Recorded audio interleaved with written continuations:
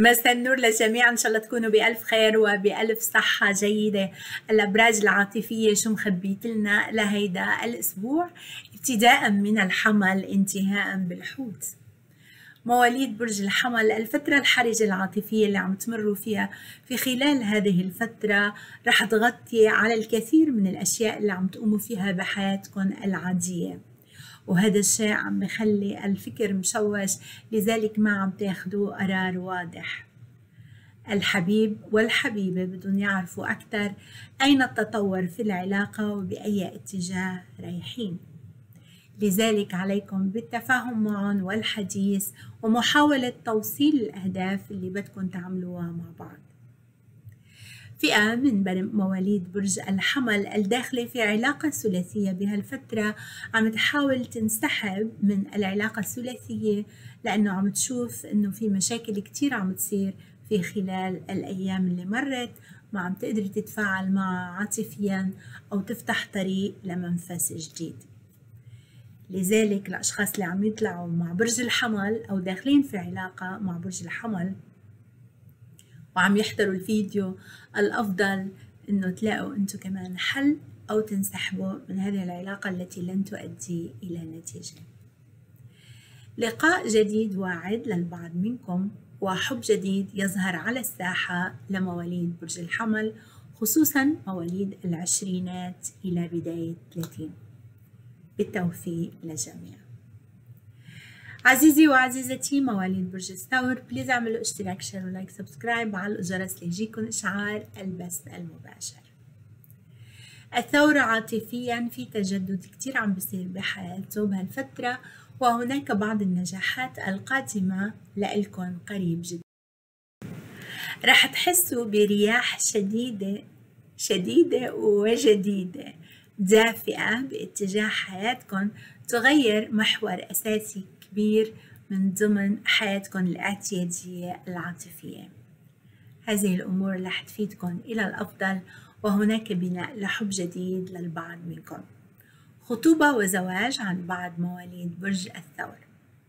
أما الأشخاص المرتبطين بعلاقة حالية أكبر منهم عمرا فمن الواضح أنه التفاهم عم ينعدم في خلال هذه الفترة لأنه الغيرة هي المسيطرة على العلاقة.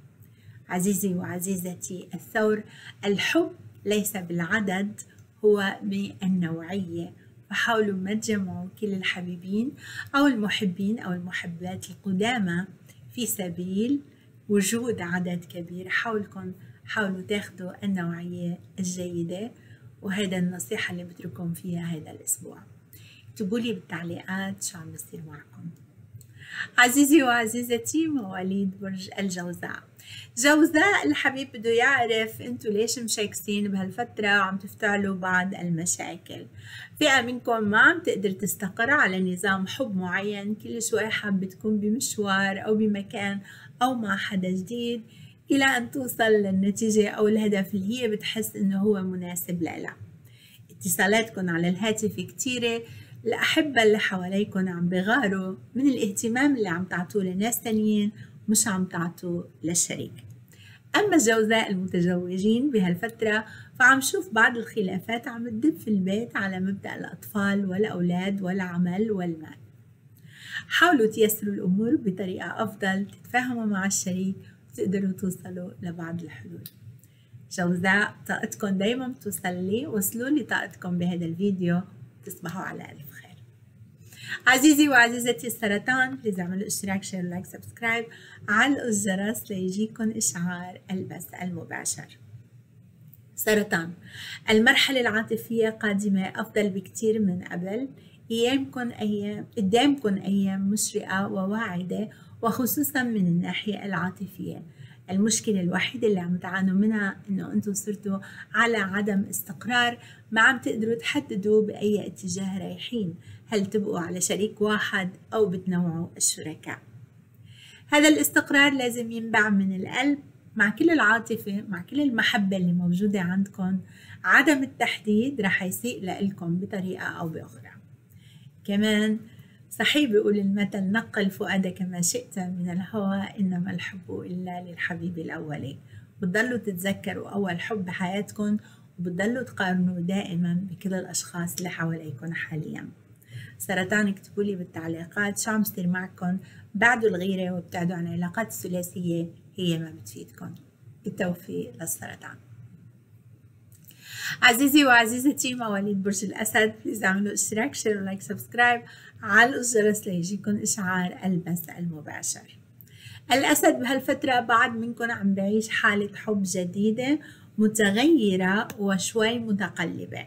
الأبراج النارية اللي عم تتفاعلوا معها في الحب والعاطفة أو طبعها عم بيكون ناري عم تجذبكم لإلها كتير ولكن هذا النار عم يتفاعل مع بعضه عم بيخلق نوع من اللهب. أحيانا بتحسوا حالكم غضبانين أو غيرانين أو بدكم تعرفوا الشريك شو هي أسراره أو شو عم يعمل لما بيسكر التليفون أو ما بيرد عليكم. هذا الشيء بنرفزكم بعصبكم في خلال هذه الفترة. هيدا لأنه الشريك ما واعي إنه هو عم يغلط أو ربما نضوجه في العاطفة قليل في خلال هذه الفترة. أما باقي الأسد المنفصلين فعم شوفهم عم يبحثوا عن شراكة مستقرة. وهذا الشيء رح يحصل قريب جدا بالأيام والأشهر القادمة. اكتبوا لي بالتعليقات شو عم بيصير معكم. بدي نبه البعض منكم في علاقة بتتم عن طريق سفر. ممكن تتعرفوا عليهم في الطائرة أو في خلال السفر أو بالمطار أو بالبلد اللي أنتم رايحين له اعملوا اشتراك share like subscribe علقوا الجرس ليجيكم إشعار البث المباشر. عزيزي وعزيزتي مواليد برج العذراء. عذراء فترة إيجابية جيدة مع الشراكة خصوصا للأشخاص المتزوجين. هدوء على صعيد العاطفة والأولاد. من بعد فترة مريتوا فيها كان فيها مشاكل بحكم المال والأمور المتعلقة بالعائلة. العذرائيات والعذرائيين الصغار اللي بعدهم عم بفتشوا على حب وزواج. هالفترة مش عم بتلاقوا الشريك الناضج الكافي ليقدر يحمل أعباء البيت أو نفقات الزواج. لذلك عم نشوفكم محتارين مش عارفين أي شخصية بدكم وللأسف الوقت الحالي ليس مناسب. الأشخاص اللي كانوا بعلاقة ثلاثية أو لا يزالوا بعلاقة ثلاثية إما انسحبوا إما ابتعدوا لوقت قصير عم بتفكروا بالعودة ولكن ليست نصيحة. عذراء اعملوا اشتراك share like subscribe. علقوا الجرس ليجيكم إشعار البث المباشر. عزيزي وعزيزتي مواليد برج الميزان. ميزان تفاؤل على الصعيد العاطفي في منكم عادت للزوج السابق أو للحبيب أو الحبيبة السابقين وعم ترجع تحاول تتفاهم معهم من أول وجديد. بعض منكم حس إنه غلط والبعض الآخر عم بحاول يدفع لقدام ليستمر مع هالشراكة لأنه ما عجبته فترة الوحدة. أما الأشخاص اللي كسلوا ما قدروا يظهروا أو يتعرفوا مع إنه هذا شيء غير عادي. عند الميزان الميزان بحب الاجتماعيات بحب التعارف على الناس ويجذب الناس الآخرين فهالعزلة العاطفية اللي عايشين فيها ما مستقبلة لكم أبدا ولا هي جيدة لوضعكم الاجتماعي. حب يعود من الماضي بيتصل فيكم بحاول يرجع بعض الذكريات وبشوف إذا أنتم لسه مقررين بدكم يرجع هالحب أو لا. فكروا كتير منيح قبل ما تاخدوه؟ لفئة منكم جيد ولكن ليس الأفضل. ربما ماديا يكون يغطي الوضع المادي ممكن يكون وضع الحبيب أو الحبيبة ماليا جيد عندهم عمل عندهم مركز. بس أهم شيء هي العاطفة بالنسبة لكم اعملوا اشتراك share like subscribe. علقوا الجرس ليجيكم إشعار البث المباشر. عزيزي وعزيزتي مواليد برج العقرب. مبروك لكل الأشخاص اللي عم يكونوا عائلة جديدة. مبروك للأشخاص اللي حيستقبلوا أطفال جدد أو تبنوا أطفال أو عندهم حمل توأم. أموركم العاطفية بالوقت الحالي هادية خصوصا الأشخاص المستقرين عاطفيا وفي علاقة. بعض منكم إما كمش أو رح يكمش خيانة ممكن تتم عن طريق رسالة أو تسجيل صوتي. جربوا ما تلعبوا بتليفون الشريك أو ما تحاولوا تستكشفوا يمكن تشوفوا شيء ما يعجبكم. في عنا مثل بيقول اللي ما بده يسمع الجواب لا يسأل السؤال. فإذا ما حابين تعرفوا الحقيقة ما تحاولوا تكونوا حشريين. مواليد العقرب اللي عندهم آه، فترة ما بين ال 25 ل 40 تقريبا هناك كلام بفرح بخطوبة بتعارف جديد وبعلاقة جديدة. بالتوفيق لمواليد العقرب. عزيزي وعزيزتي مواليد برج القوس. قوس علاقاتكم في العاطفة مع العائلة والأسرة. بدها تركيز. صار لي فترة عم لكم هالشي. صار لي فترة عم لكم انتبهوا للشريك. صار لي فترة عم لكم عندكم إهمال في العاطفة للأشخاص اللي حواليكم اهتمامكم ينصب على شريك جديد يأتي بياخد كل شيء سحر منكم عاطفي وبتتركوا الأمور الأخرى. حاولوا تكونوا متفاعلين أكثر مع العائلة والأسرة والحب. فئة منكم تعود إلى علاقة سابقة قد تكون ثلاثية أو أكثر.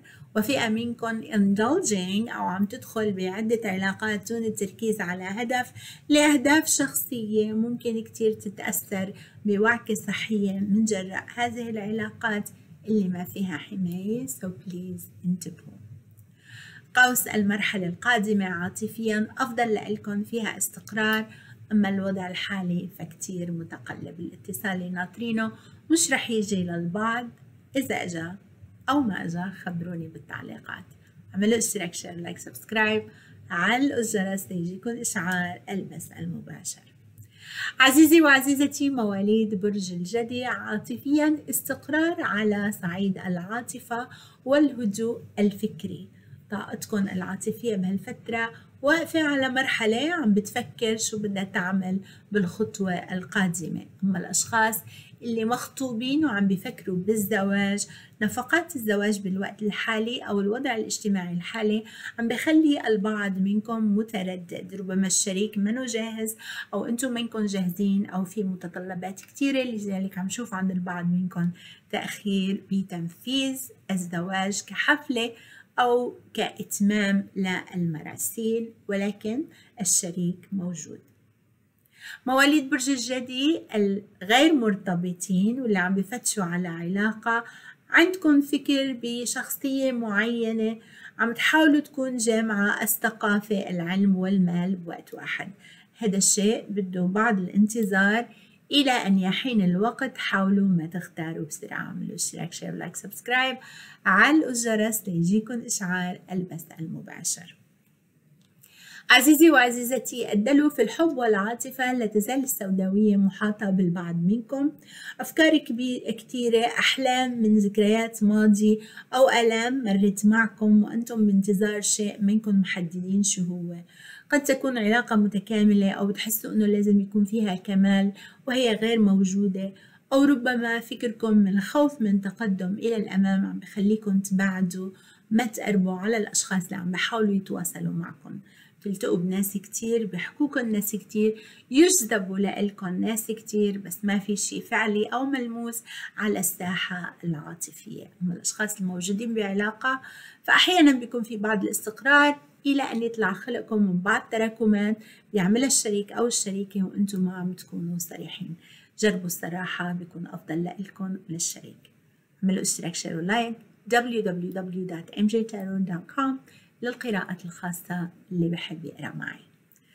أخيرا وصلنا إلى برج الحوت. حوت please اعملوا اشتراك share و like لاقولي على القراءات الخاصة على موقعي www.mjtarot.com so so, حوت عاطفيا التشتت لا يزال عندكم. بعض منكم عنده أكثر من شريك مش عم بيعرف أي اتجاه رايح والبعض الآخر المرتبطين واللي بحسوا إنه هن مستقرين الإشباع العاطفي غير موجود عندهم. يعني ما عم تظهروا مع الشريك ما بتقعدوا تحكوا معه ما في رومانس ما بتفتحوا قلبكم. فهذه الأشياء بتحز عليكم بتضايقكم أو حتى لما بتتصلوا برسالة بتحسوا إنها جافة علما إنه أنتم عم تعطوا كتير عواطف وعواطفكم جياشة. لذلك بنصحكم أكثر تكونوا مع شريك في نوع من الحركة وبيقدر يحرك كل هالطاقات اللي موجودة عندكم ويفجر كل الحب الموجود. بغض النظر أموركم بشكل عام هادية بالفكر أنتم بتقولوا أنا رح أرضى باللي موجود إلى أن يأتي الأفضل. ولكن هذا الارتباط أو هذا الخيط اللي لا يزال رابطكم بعلاقات مهترئه للأسف عم بيضركم أكثر ما يفيدكم. بعض الأشخاص منكم تنوي الانسحاب من علاقة طويلة لم تعطيها أي إنصاف وما قدمت لها أي شيء. قد يكون زواج قد يكون آه، علاقة طويلة الأمد ولكن بدون هدف. هذا الشيء بس يحصل رح ترتاحوا نفسيا وتغيروا الكثير من الأوضاع العاطفية. اعملوا اشتراك share و like خبروني شو عم يصير معكم. ميرسي كتير لكم تصبحوا على ألف خير. بحبكم. bye